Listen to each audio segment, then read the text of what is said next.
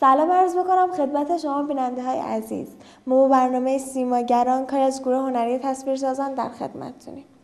ایمیل ها و تماس های مکرر شما عزیزان باعث شد که گروه هنری تصویرسازان اقدام به ساخت این برنامه آموزشی بکنند. جا داره اینجا از اسپانسرینگ محترم برنامهمون شرکت آلما برنسش تشکر کنیم که ما رو در ساخت این برنامه یاری کردن با ما باشید. سلام دنیا طلوع خورشید است. پس سلامی بدون غروبش را تقدیم به شما بیننده های عزیز می کنیم ما با برنامه سیماگران کاری جدید از گروه هنری تصویرسازان در خدمتتونیم. متشکرم از اینکه تا الان برنامه های ما رو دنبال کردید. ما تو این برنامه در خدمت جناب آقای دکتر رسول آزرنیا هستیم متخصص پوست و مو زیبایی. سلام جناب آقای دکتر خیلی خوش اومدید. مرسی از اینکه دعوت ما رو پذیرفتید و تو این برنامه شرکت کردید. خواهش می‌کنم. منم ضمن سلام به شما و عرض ادب نسبت به بینندگان عزیز در خدمتون هستم و امیدوارم که بحث مفیدی داشته باشیم. ما توی این برنامه اومدیم راجع به پوست مو زیبایی صحبت کردیم. از یه سری از آرشگران خیلی خوبمون دعوت کردیم. خواستیم راجع به پوست با ما صحبت کنن. ولی الان می‌خوایم یه جوری برای بینندگان ما به یه دید حرفه‌ای تر نگاه کنیم. به طور تخصصی تر به مسئله پوست بپردازیم. میشه شما برای ما بیننده ها بفرمایید که چی کار کنیم که ما پوستی بهتر داشته باشیم و چه کارایی لازمه بکنیم برای نگهداری پوستمون؟ بله. من در ادامه جواب به سوال شما لازمه که یه نکته رو روشن کنم. و اون نکته اینه که پوست یک بافت زنده است و مثل سایر ارگان های بدن مثل قلب مثل کلیه مثل کبد مثل چشم ها یک بافت زنده است. و ما نباید به پوست مثل یک بوم یا صفحه نقاشی نگاه کنیم. که هر کاری هر شکلی که می‌خوایم روش بکشیم و بعد اون سفر رو از بین ببریم. و برای مراقبت از این بافت زنده هم باید یه کارایی رو انجام بدیم و یه کارایی رو انجام ندیم. من نمی‌خوام اینجا راجع به آناتومی فیزیولوژی پوست صحبت کنم و اینکه بگم پوست چند لایه داره و کارش چی هست.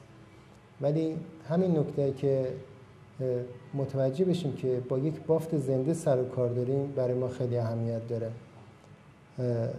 برای نگهداری پوست ما باید اولا تایپ پوستی رو مشخص کنیم که فرد چه نوع پوستی داره. آیا یه پوست طبیعی داره پوست خشک یا پوست چرب. و بعد از مشخص شدن این نوع پوست درمان های خاص و متفاوت از هر کدومشون رو براشون شروع می‌کنیم.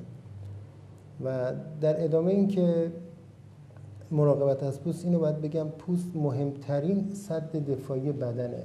یعنی ما در یک اقیانوسی از میکروارگانیسم ها در یک اقیانوسی از میکروب ها و ذرات معلق از تخم انواع ها حشرات خیلی ریزی هستن که در روی پوست انسان هم زندگی می‌کنن. اینها به صورت ذرات معلق در هوا هستن و این پوست مسئول حفاظت از این مقابل این میکروارگانیسم هاست که به بدن آسیب نرسونن.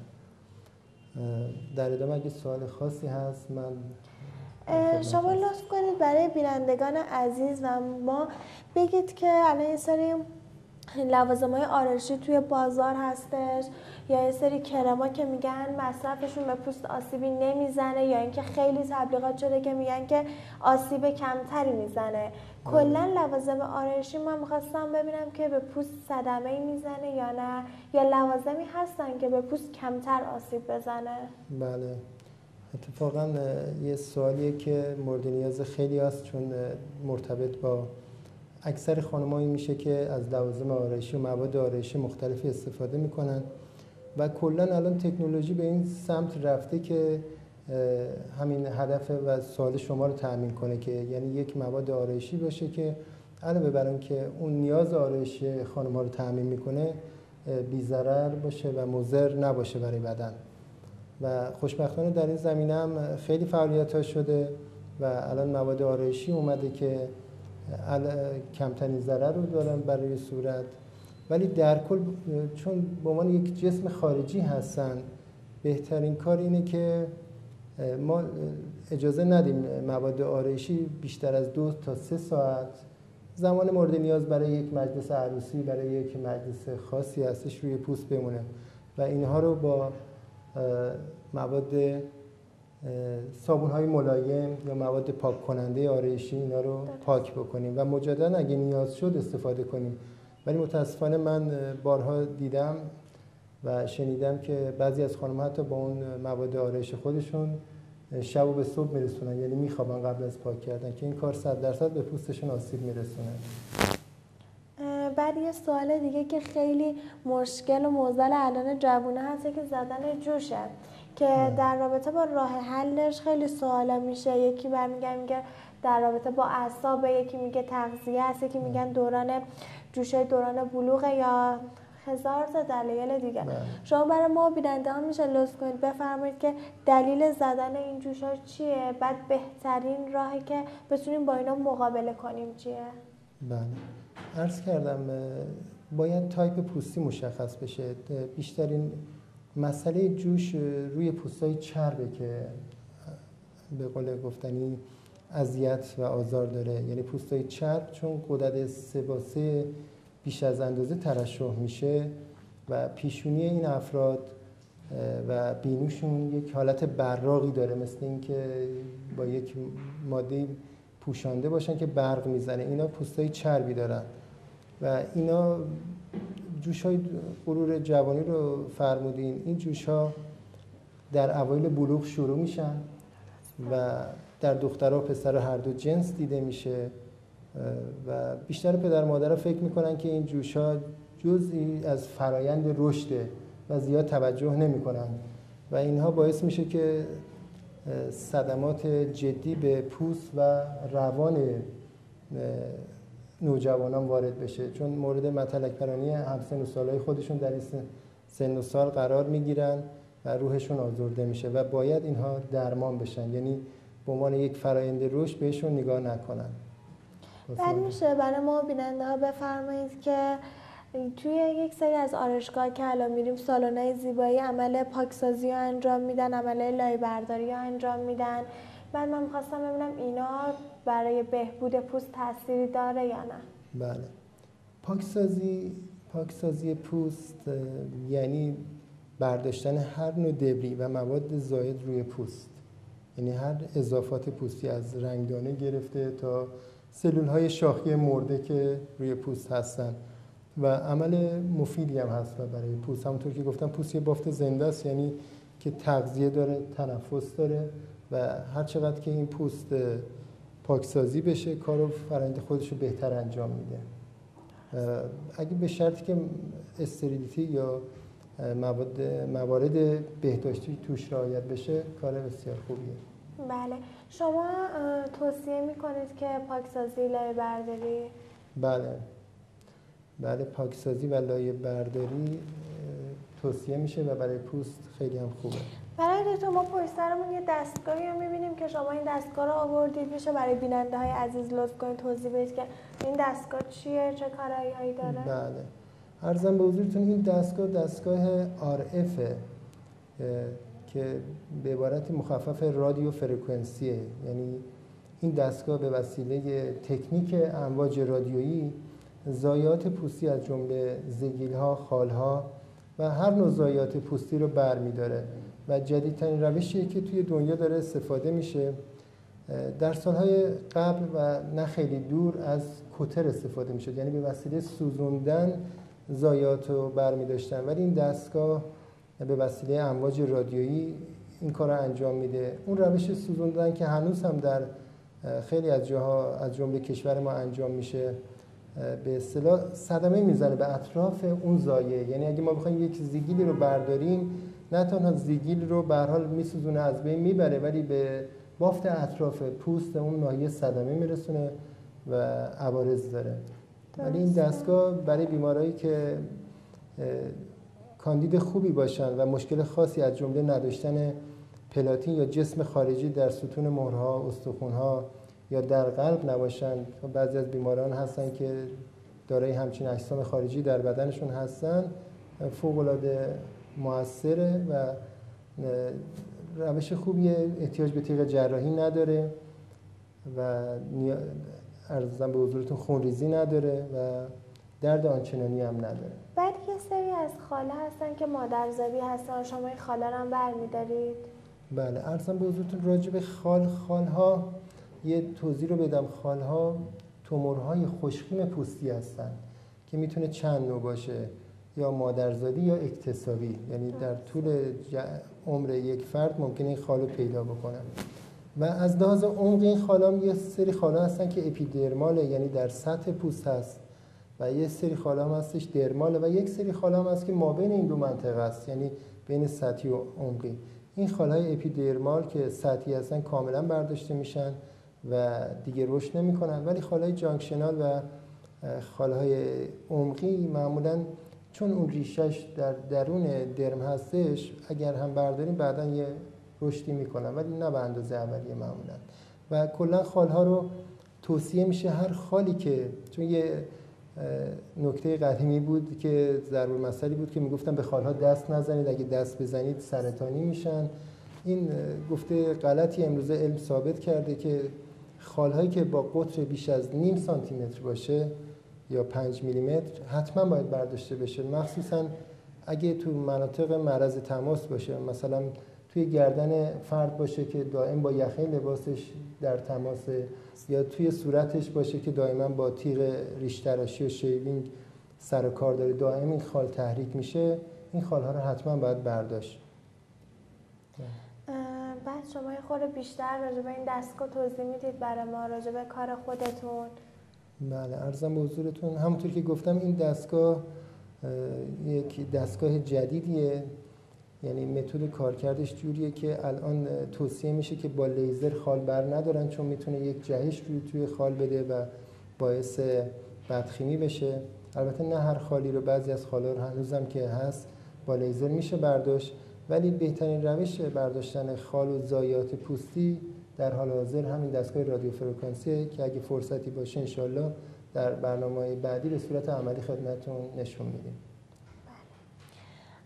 بیننده های عزیز اگر سوالی دارن انتقادی دارن پیشنهادی دارن می‌تونن با ما تماس بگیرن. حتما به سوالاتون پاسخ داده میشه. در خدمت آقای دکتر هستیم. آقای دکتر شما در پایان صحبتی ندارید برای بیننده های عزیز؟ چیز ناگفته ای نمونده؟ بله.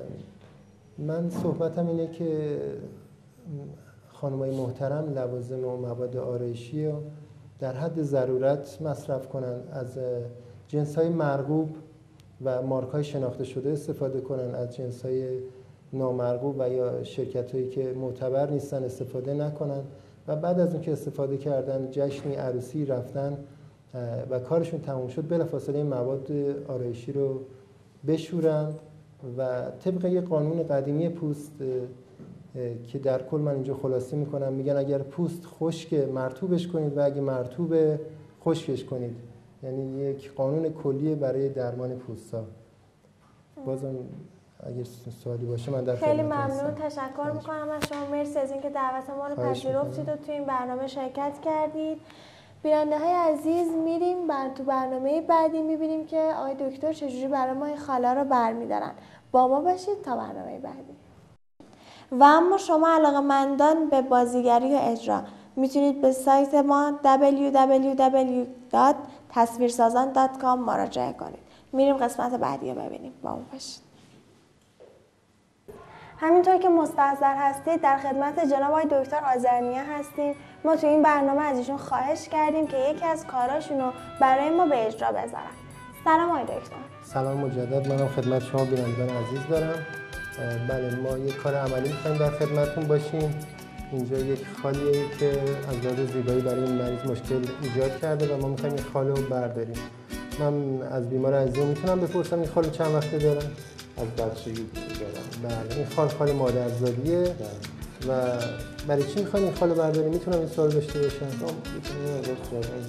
بله این خال به حال یه زایه که روی صورته و براشون یه مشکل کوچیکی ایجاد کرده و ما می‌خوایم اینو برداریم قبل از هر چیزی محل عمل رو استریل می‌کنیم. با وسیله مثل الکل کافیه.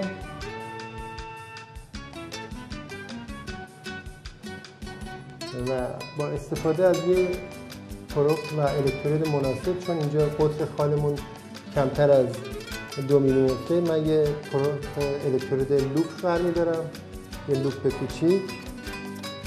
و کارمون رو شروع می‌کنیم. آقای دکتر شما این سریعی که برداشتید گوشید رو دستگاهتون الکترود بله.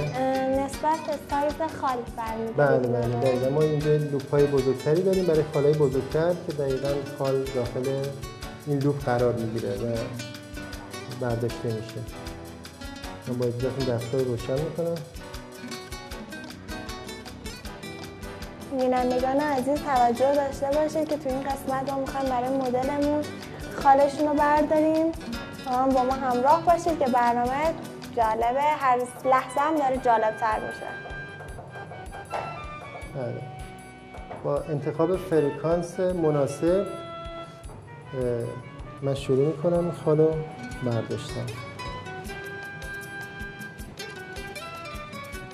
اگه یک موقع درد یا احساس کردین لطف کنید بگید.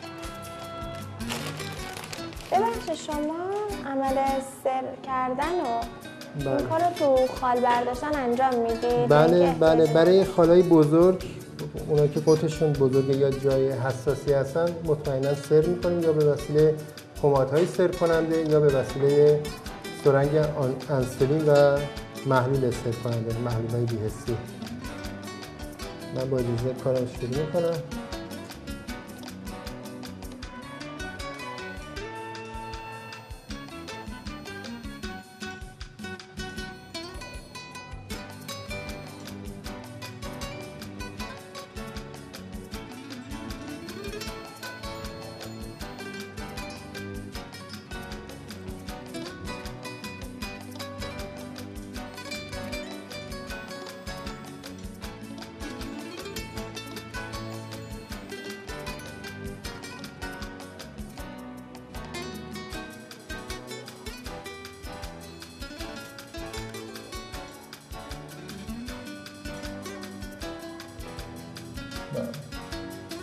دقت کنید این خال برداشته شد و الان اگه دوربین بتونه بگیره خال ایشون به الکترود من چسبیده.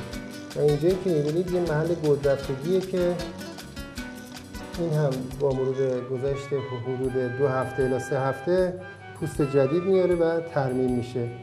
من روی این محل عملمونم. یک مقدار کرم ببخشید. یک مقدار زینبوکسل میمالم که هم برای ضد عفونی کردن این منطقه است هم برای اینکه آفتاب به این منطقه نخوره چون موقع پوست آوردن سلول های جوان و به آفتاب حساسن. چقدر جالب بیننده های عزیز توجه داشته باشید که ظرف همین مدت کم خال ایشون رو برداشتیم. یعنی جناب دکتر برداشتن.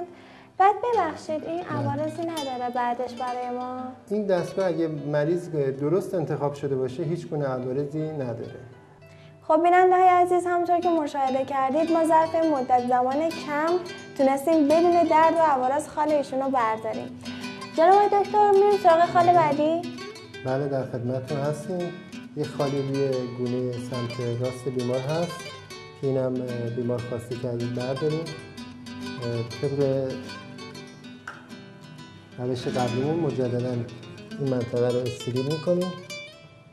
همونطور که عرض کردم با پنبه الکل کافیه و با یه گاز استریل خشک می‌کنیم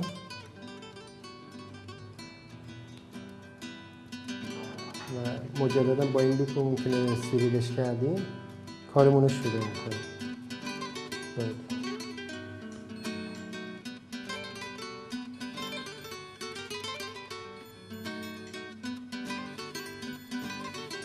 واقعا برداشتن یه خال به همین آسونیه که داریم می‌بینیم. بله شما زیر چشمتون داریم یه خالی رو برمیداریم. یعنی مشاهده می‌کنیم.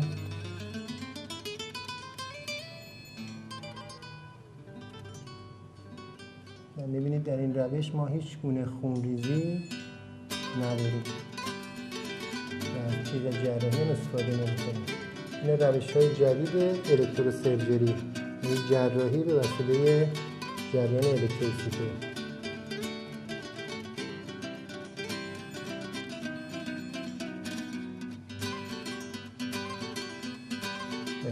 تمام شد. مجددا یه مقدار پماد zinc oxide.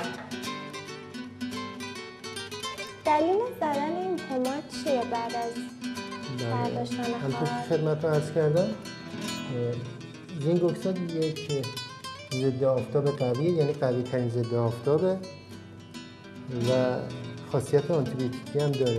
هم حال ما یک جراحی محسوب میشه ممکنه عوارض عفونی داشته باشه برای خاصیت ضد عفونی کننده و همین که سلول های جدیدی که می‌خواد رویش پیدا کنه سلول های خیلی حساس به آفتابی هستن. و این ضد آفتاب باعث میشه و به مریضم توصیه می‌کنیم که استفاده بکنه به مدت سه هفته تا پوست جدید بیاره. بله الان تموم شد. بله، برداشتن بله. بله. خب بیننده های عزیز همونطور که مشاهده کردید طی کوتاهترین زمان بدون درد و عوارض جناب آقای دکتر آذرنیا خال این بیمار رو برای ما برداشتن. با ما باشید. میشه شما برای ما بیننده ها بفرمایید که کلا لایه برداری یعنی چی؟ مفهوم لایه برداری چیه؟ بله. لای برداری یا با لفظ لاتین یا انگلیسیش به معنی peeling به معنی پوست کندنه در حقیقت ما میاییم با یک سری ابزاری که این ابزارها متفاوتن. حالا بعدا توضیح میدم خدمتون. سطحی ترین لایه پوست رو بر میداریم و پوست رو در حقیقت یک نوع جوان سازی انجام میدیم با این پوست. یعنی زایات رنگدانه‌ای زایاتی که ناشی از سلول‌های شاخی و زائد پوست هستن که به طور طبیعی سطحی ترین لایه پوست که این سلول ها هستن این سلول ها رو برمیداریم. و حالا روش های مختلفی داریم که اگه بخوایم براتون توضیح بدم این روش میشه لطف کنید بگید که روش های لایه برداری چیه؟ بعد اینکه با دستگاه انجام میشه با دست انجام میشه تفاوت اینا رو برای ما بگید. بله حتما. عرضم به حضورتون که ما چندین روش داریم. یه روش mechanical داریم یک روش شیمیایی یا chemical داریم یک روش به اسم glass paper و در حقیقت این glass paper یه سری کاغذایی مثل کاغذهای سنباده میمونن که روی پوست کشیده میشن و با این روش اون لایه سطحی پوست برداشته میشه. و روش دیگه وایر براش هست یه برس های سیمیه که اونم مثل همون کاغذ سنباده روی پوست کشیده میشه و اون لایه اضافی برداشته میشه. اون لایه که مورد درخواست ماست. خب شما میشه بفرمایید که فایده های لایه برداری چیه؟ بله. بزرگترین لایه فایده این لایه برداری اینه که ما پوست رو پاکسازی می‌کنیم از زایات مختلفی که داره ام از رنگدانه و دبریای دیگه. ولی بهترین روش الان در حال حاضر روش مکانیکاله که به وسیله دستگاه انجام میشه روش های شیمیایی و یا همون عرض کردم خدمتون گلاس پیپر و وایر براش هم هستش ولی اینا یه سری مذراتی دارن به این صورت که فوق العاده دردآور هستن. شما کمتر افرادی هستن که تحمل کنن با یه کاغذ سنباده مانند روی پوستشون رو بکشیم یا یه برس سیمی روی پوست صورتشون بکشیم و یه لای برداری کنیم. در این نوع لای برداری ها عمق که می‌خوایم لایه رو برداریم مشخص نیست. در یه مناطق زیاد برداشته میشه در یه مناطق کم و زخم ایجاد می‌کنه. فوق العاده دردناکه بعد مراقبت های خاص داره بعد از انجام این کارها. یعنی یه hospitalization داره یعنی این مراقبت خاص داره.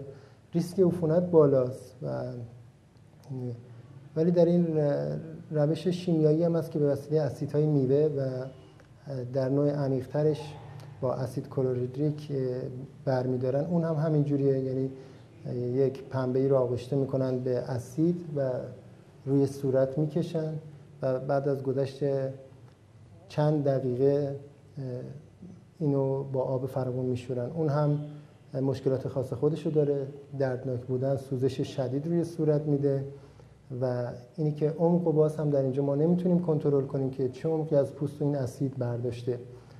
ولی در نوع mechanical ش و جدیدترین نوع mechanical که به نام corundum crystal آلومینیوم معروفه یک دستگاهی هست که پودر آلومینیوم رو با فشار بالا به روی صورت میپاشه و از طریق یک وکیوم یا suction این پودرایی که بعد از برخورد به پوست به قول گفتنی اون بافت پوست رو برداشته برمیگردونه توی محفظه دیگه. اگه اجازه بدید من روی این دستگاه خدمتون نشون بدم.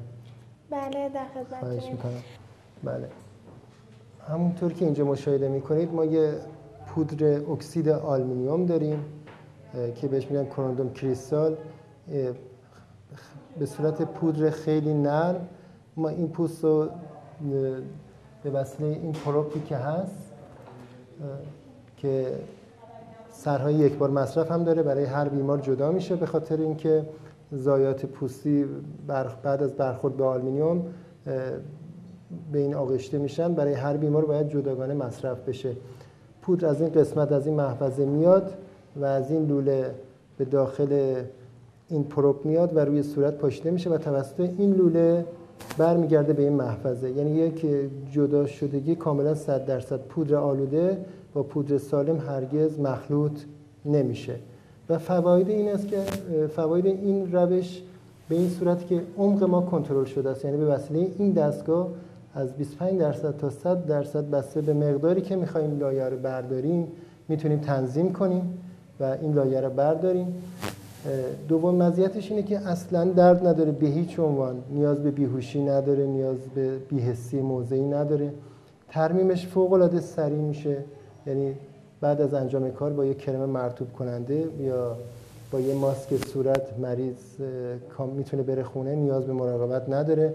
اون عقب افتادگی به قول گفتنی اجتماعی رو از کار و زندگی نداره. نمی‌خواد نیاز به زمان ترمیم نداره. می‌تونه اینو انجام داد. بلا فاصله بره سر کارش. برعکس روش های دیگه که حداقل باید ده روز 15 روز مراقبت می‌کردن از پوست و در انظار جامعه نمی‌تونستن ظاهر بشن. روش بسیار موثریه. در حال حاضر و جدیدترین روش برای این کار هستش. و جناب آقای دکتر میشه بفرمایید که با این دستگاه لکه های رو پوستم میشه برداشت یا نه؟ بله. کلا هدف این دستگاه یعنی هدف اصلی این دستگاه ایجاد یه هموژنیسیت است. یعنی ایجاد یک نواختی روی پوست. حالا پوست به هر شکلی که می‌خواد باشه. پوست ارزم به حضورتون خشک پوست چرب با هر گونه زایه رنگدانه که داشته باشه یک یک دستی رو ایجاد می‌کنه. و برداشتن هر نوع زایه اضافی روی پوست هدف اصلی این دستگاه است. درسته. راجع به رنگدان ها هم بله این دستگاه هم داره. و یکی از موارد مصرف دیگه این دستگاه است که ما می‌خوایم یک دارویی رو به پوست برسونیم. مثلا در melasma یا chloasma ماسک حاملگی که روی پیشونی و گونه های خانما بعد از زایمان دچار تیرگی میشه یه hyperpigmentation یا افزایش رنگدانه است. ما این لایه رو بر... لایه برداری می‌کنیم با این دستگاه تا بتونیم اون موادی که لازم داریم به پوست به عمق پوست برسونیم. یعنی در حقیقت یک زمینه ایجاد می‌کنیم که اون لایه پوست که به عنوان یک صدیه برداشته میشه و بعد دارو رو به بیمار میدیم. بعد جناب دکتر میشه بفرمایید این دستگاه علاوه بر فوایدی که داره ضرری هم داره یا نه؟ در حال حاضر تا این لحظه که من در خدمتون هستم هیچ گونه آرزه جانبی برای این دستگاه شناخته نشده. یعنی کاملا سیف و بی خطره بعد استفاده از این دستگاه حتما باید توسط آدم متخصص و حرفه‌ای انجام بشه یا اینکه افراد معمولی هم آمیانه می‌تونن این کار انجام نه. ارزم به حضورتون که این دستگاه بهتره که توسط متخصص انجام بشه و روش های خاصی داره و نمیشه این پروپ رو برداشت و به هر صورتی که بخوایم روی صورت بیمار کشته بشه. بعضی از خطوط هستن خطوط دور چشم باید از داخل به خارج کشیده بشن این پروب. یعنی شما اگه بکشی ممکنه نتایج عکس بده. و در ضمن این دستگاه برای موارد مصرفش برای جوشگاه ها جوشگاه های ناشی از بیماری آکنه یا جوش غرور جوانی استفاده میشه. برای استرچ مارک یا خطوط بعد از زایمان اینها استفاده میشه. و برای فاین رینکرز یعنی برای خطوط و چروک ظریف مثلا اطراف چشم فوق العاده موثر هستن. بله. مرسی ممنون. پس یه سوال دیگه هم خواستم بپرسم خدمت تو اینه که این وسیله این دستگاه میشه تو آرایشگاه هم استفاده کرد از این دستگاه یا فقط برای به پزشک متخصص می‌تونه راجع به این دستگاه کار کنه یا اطلاعاتی رو بده؟ ولی در حال حاضر اونطور که من اطلاع دارم این وسیله فقط باید توسط پزشکان استفاده بشه. یه وسیله تجهیزات پزشکی است که توسط پزشک باید استفاده بشه و فکر نمی کنم آرایشگاه مجاز باشن استفاده بکنن. بله. مرسی ممنون. لطف کردید که شما دعوت ما رو پذیرفتید.